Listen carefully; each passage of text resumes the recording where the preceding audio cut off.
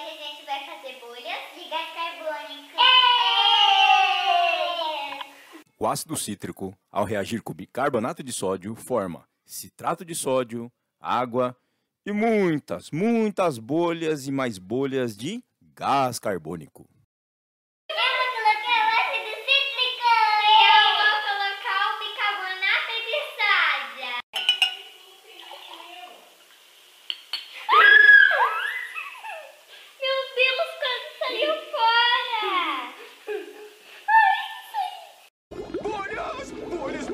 bolhões, olha as bolhas, minhas bolhas.